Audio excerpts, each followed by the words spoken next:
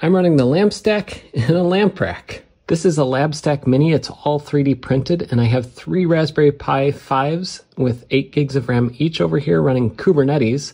And this is a JetKVM connected to the first Pi so that I can remote control it easily, even if things lock up on it. This is a PoE network switch, so it provides power and networking to all these Pis and to the JetKVM.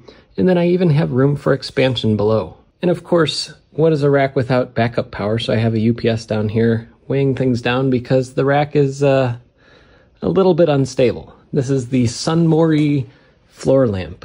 It lets you change the color temperature, which you can see is uh, interesting.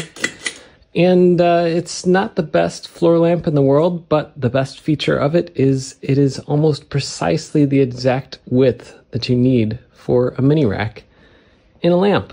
Here's the back view just to show that I'm not hiding anything. Of course, my cable management could be a little bit better, but that's not bad. This is the uh, network connection to the rest of my network, and this is running a Drupal website, so it is indeed running the LAMP stack, Linux, Apache, MariaDB, and PHP. This floor lamp has its own built-in PDU, but this is plastic with screws into the back of it.